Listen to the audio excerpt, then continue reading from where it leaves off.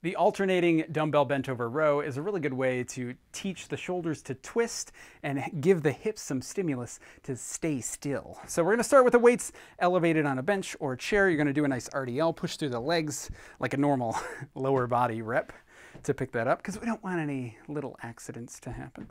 Uh, and now to set up for this one, we have to be able to do an RDL. So we're pushing the butt back and up. I'm feeling a lot of load in the legs, not a lot of load in the back. Okay, even though I'm bent over, I shouldn't feel a lot of load in the back. You wanna place it all in the legs. And now for alternating, I'm gonna go one arm up, let that shoulder twist backwards slightly. I don't want the hips to go with it. I just want the shoulder to go.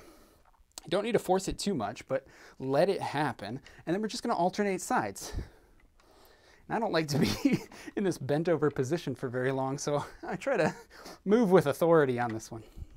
If I'm gonna do this one wrong, the thing that I see the most is just people are not as stable at the hips as they think they are, and they row something like this.